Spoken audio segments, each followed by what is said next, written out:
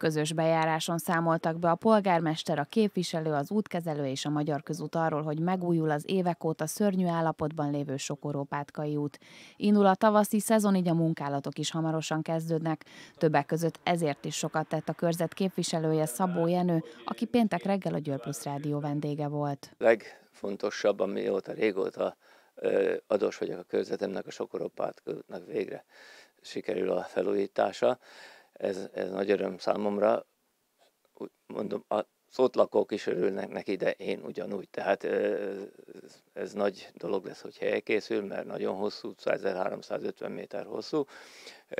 Sok pénzbe kerül, de hál' Istennek megvalósul. Valamint a régi postának volt egy nagyon rossz szakasza még a Koronca és a Szertári út között. Ott most mennek a közmű kiváltások, vízbekötések cseréje, és akkor utána jön a felújítás. Azt azért kell, hogy a jó utat ne kelljen majd felbontani valamint a több apróbb kis javítások, járdaszakaszoknak a javítása, csapadékvizelvezetések és parkolóbővítések, tehát ezekkel próbálunk most itt a itt élőknek hozzátenni a mindennapi könnyebb közlekedéséhez programokból sem lesz hiány, ezek mindegyike ingyenes és nagy hagyományokkal rendelkezik. Ménfőn az ősz, ősszel vannak inkább programok, Gyirmóton ugye tavasszal van több, itt most április 26-án lesz egy ilyen látványsütés, kemencébe kenyérsütés, langallósütés, valamint május 1-én a halászéfőző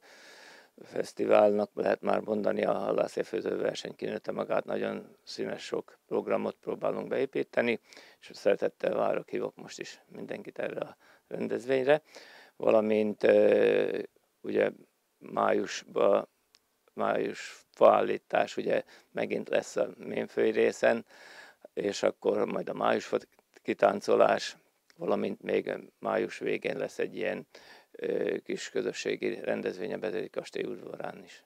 Május 17-én pedig a Gyirmóti Művelődési Házban lesz Szabó József Nóta délután. Azoknak is kedveznek a körzetben, akik tavasszal és nyáron a szabadban sportolnának, ráadásul a játszótérfejlesztések is folyamatosak. A játszótereket is folyamatosan bővítjük az eszközöket, most Gyirmóton röplabdapálya épül, vagy, és egy két kosárpalánk lesz kihelyezve, a két focikaput tettünk ki, aminek nagy sikere van, mindig fociznak az Ugó Parkba, a Szellő utcába is ö, trambulén, ö, pingpongasztal, tűzrakóhely, babamama hintát építettünk. Tehát amit kérnek, akkor ezeket próbálunk megoldani. Oda is kértek most ö, kosárpalánkot, ez, ez is megoldódik.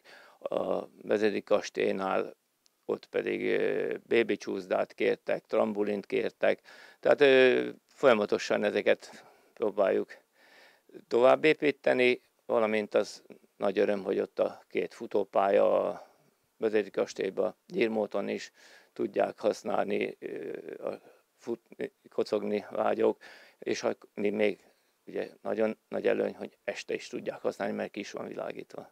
Tavasszal pedig nagy takarítani is szoktak az emberek, ebben nyújt segítséget a képviselő a kihelyezett hulladékudvarokkal.